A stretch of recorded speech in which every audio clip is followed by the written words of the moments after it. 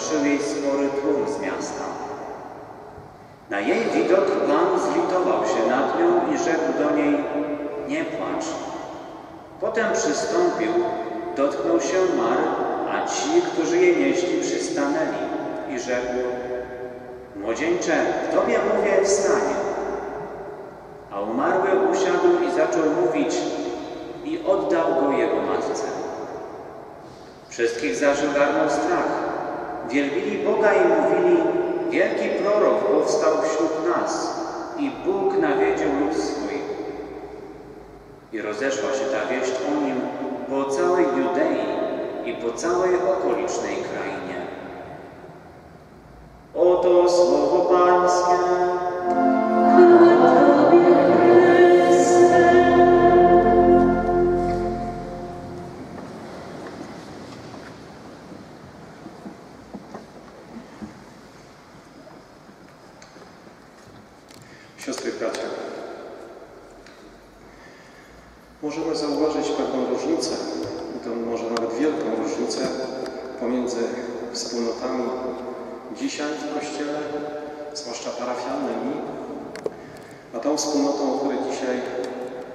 Słyszymy w pierwszym liście świętego Pawła Apostoła do Koryntian, wspólnotą w Koryncie. Można mieć wrażenie, że w tym 12 rozdziale e, tego listu święty Paweł chce powstrzymać trochę Koryntian e, w ich charyzmatycznym zapale. Wszyscy chcą być charyzmatykami, czynić cuda, uzdrawiać w imię Jezusa, rządzić, przemawiać różnymi językami, być apostołami, czynić cuda na różne sposoby. Niesamowity dynamizm i zapał, którego dzisiaj w naszych różnych wspólnotach w Kościele albo wcale nie posiadamy, albo posiadamy w sposób niewystarczający. Od Soboru Watykańskiego II budzi się w Kościele taka właśnie świadomość, iż Kościół jest e, charyzmatyczny, wypełniony Duchem Świętym i mocą, która chce się objawiać i ujawniać przez życie, słowa, dzieła e, chrześcijan. E, Przypomnę, w tym roku ukazał się dokument Kongregacji Nauki Wiary na temat relacji między darami hierarchicznymi i charyzmatycznymi. I w punkcie dziewiątym dokument ten przypomina to, co w nauczaniu Kościoła właśnie od Soboru Watykańskiego II mocno jest podkreślane. Że charyzmaty, autentyczne charyzmaty należy postrzegać jako dary o niezbywalnym znaczeniu dla życia i misji Kościoła. Bardzo ważnym elementem jest jednak rozeznawanie tych charyzmatów. I to jest zadanie kapłanów, pasterzy, wszystkich, którzy za wspólnoty kościelne odpowiadają. Z pewnością lęk przed charyzmatami, jeżeli takowy się pojawia, przed posługą charyzmatyczną, przed otwarciem się na Ducha Świętego do tego stopnia, że to Jego moc ma większe znaczenie niż to, co my byśmy po ludzku mogli sobie wymarzyć czy wymyślić. To jest coś, czego dzisiaj nam trzeba. Dlaczego? Tenże dokument mówi w punkcie 15, że charyzmaty są bardzo stosowne i potrzebne Kościołowi, bo przez ich wielorakie bogactwo lud Boży może w pełni przeżyć misję ewangelizacyjną, dostrzegając znaki czasów i interpretując je w świetle Ewangelii. Dary charyzmatyczne pobudzają wiernych do odpowiedzi na dar zbawienia w pełnej wolności w sposób dostosowany do czasów i uczynienia z siebie daru miłości dla innych oraz autentycznego świadczenia o Ewangelii wobec wszystkich ludzi. Długie zdanie, może troszkę trudne, nasycone takie, taką treścią teologiczną, a chodzi po prostu o to, że jeżeli nie przyjmiemy darów Ducha Świętego, jeśli nie przyjmiemy darów charyzmatycznych, nie będzie e, w pełni głoszona Ewangelia. Bo po ludzku można głosić Ewangelię e, ludzką mądrością, ale ona nie dotrze do serca człowieka. Dopiero święty Paweł przekonał się o tym sam na sobie. E, kiedy mamy ufność to, że to Duch Święty posługuje się ludźmi w Kościele, posyła ich i wyposaża do głoszenia Ewangelii, dawania świadectwa. Wówczas rzeczywiście jest szansa, że różne blokady w sercach ludzi zostaną pokonane, że w naszych sercach zostanie pokonany lęk przed głoszeniem innym Ewangelii. Wezwanie do nowej ewangelizacji, które słyszymy w Kościele dzisiaj, jest ściśle połączone z zaproszeniem do przyjęcia darów charyzmatycznych. Jedno z drugim idzie w parze. Jedno drugie wzmacnia i umożliwia realizację. Jak jest z Tobą, siostro i bracie? Wielu z nas, którzy rozwijają się na drodze ewangelizacyjnej, dają się ewangelizować i chcą ewangelizować innych.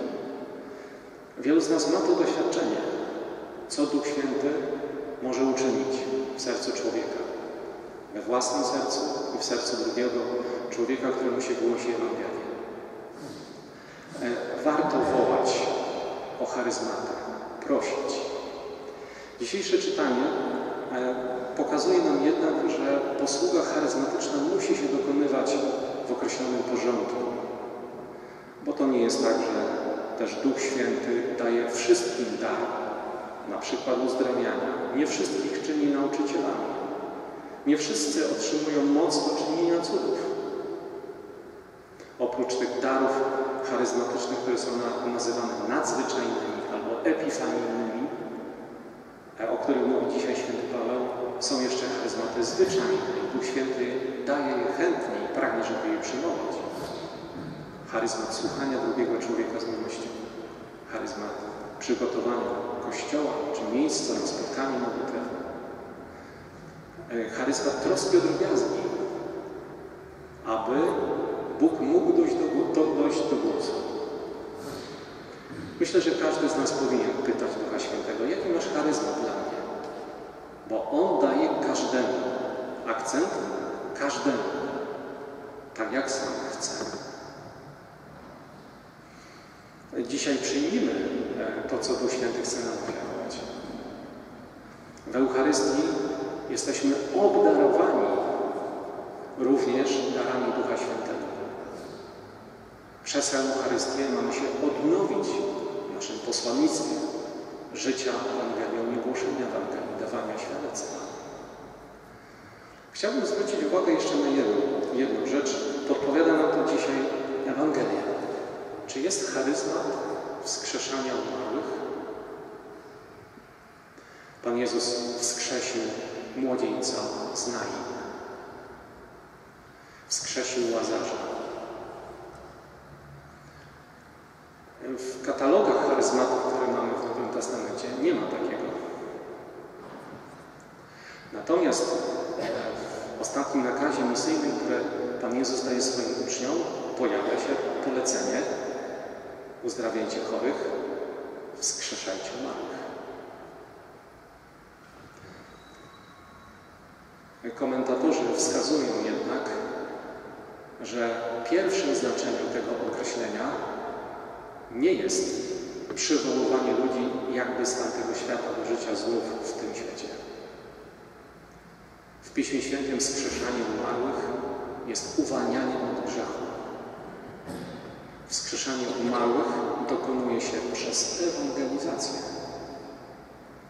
Jeśli zachęcisz drugiego człowieka do ufności Jezusowi, zaprosisz go tak mocno i będziesz się z nim modlił, że on powie: Dobrze, chcę oddać moje życie Jezusowi.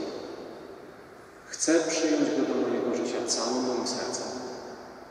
Oto podniosłeś go ze śmierci do życia, które jest w Chrystusie. Jeśli przystąpisz do sakramentu pokuty pojednania, jeśli zachęcisz drugiego człowieka do przyjęcia tego sakramentu, jeśli wtedy, gdy oddajemy nasze grzechy Jezusowi, jesteśmy uwalniani od śmierci, jesteśmy wskrzeszani do nowego życia. Ukochani, a jednak wskrzeszenia fizyczne. Także w tym trzecim znaczeniu, bardzo rzadkim, wyjątkowym, może się pojawić doświadczenie modlitwy nad zmarłym, który powróci do życia. Jest szereg takich świadectw. Myślę jednak, że nie ma potrzeby mówić o charyzmacie wskrzeszania umarłych, bo pewnie to jest charyzmat czynienia cudów. Nie wiem, czy zetknęliście się z sytuacją świadectw, gdzie rzeczywiście umarli wrócili do życia pod wpływem modlitwy Kościoła, czy nawet pojedynczego człowieka. Ksiądz John Baszabora, tak znany dzisiaj w Polsce, między innymi zawdzięcza swoją, powiem tak po ludzku, popularność e, wieści, że owocem jego modlitwy było wskrzeszenie umarłego człowieka. Jak sam o tym opowiada, na ile ja to słyszałem, być może jeszcze inne sytuacje, chodziło o żonę pastora, który posługiwał w sąsiedniej parafii w Ugandzie, w jego sąsiedztwie. Kiedy sprawował mszę świętą, właśnie doniesiono że zmarła. Więc po zakończeniu Eucharystii pojechał właściwie tak, może pocieszyć bardziej męża po stracie żony. Ale przyszła łaska modlitwy za tę kobietę. Zaczęli się gorliwie modlić i okazało się, że ta modlitwa podniosła ją do życia.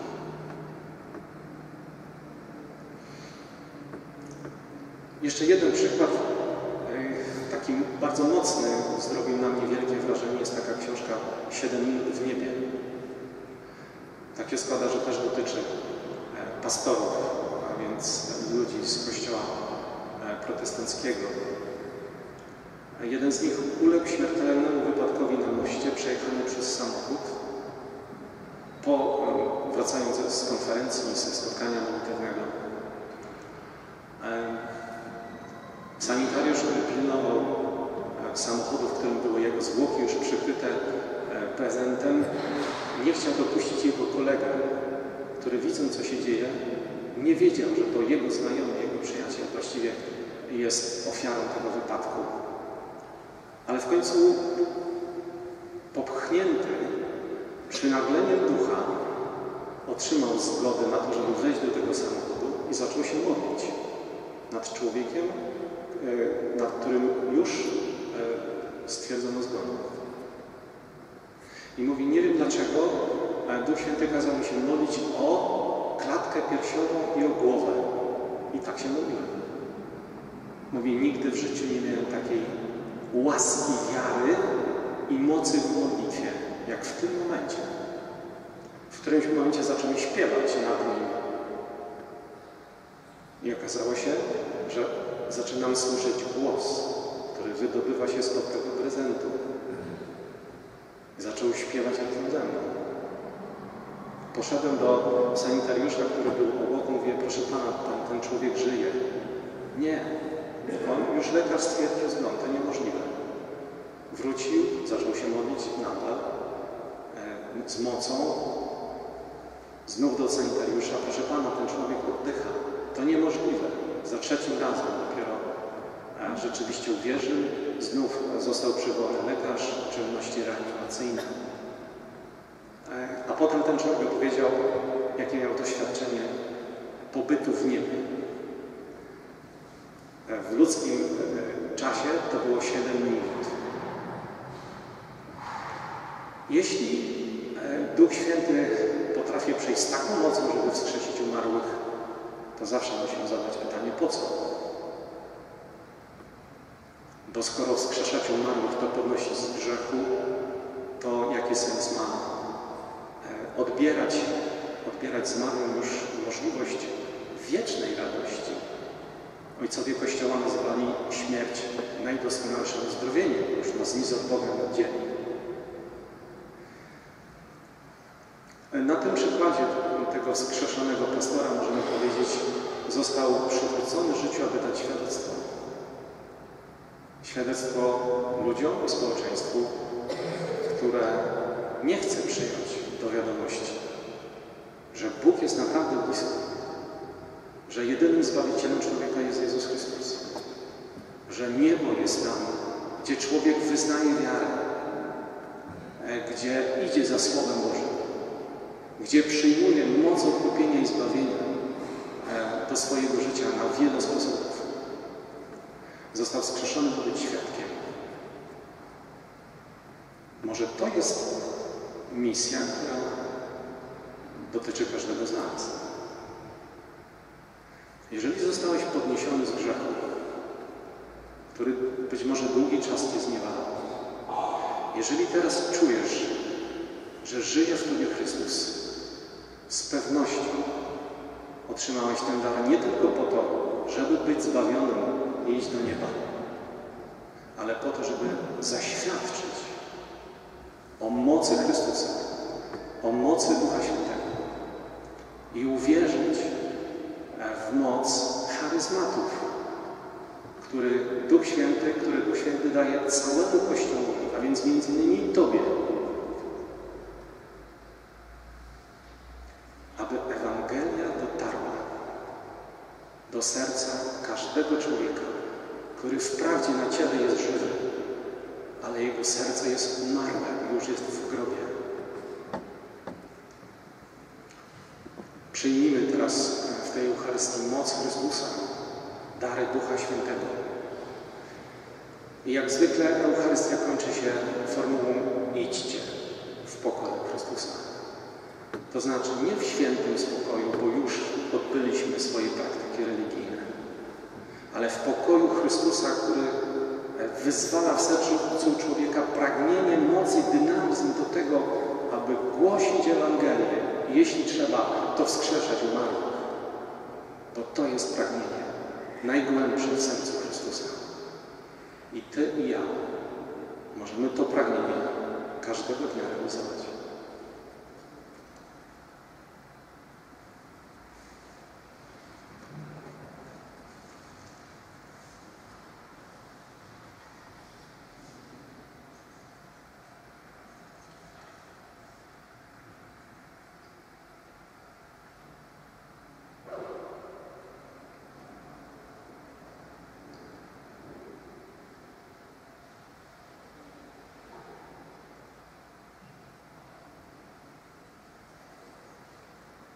Zwróćmy się teraz do Boga z naszymi prośbami, przyjmując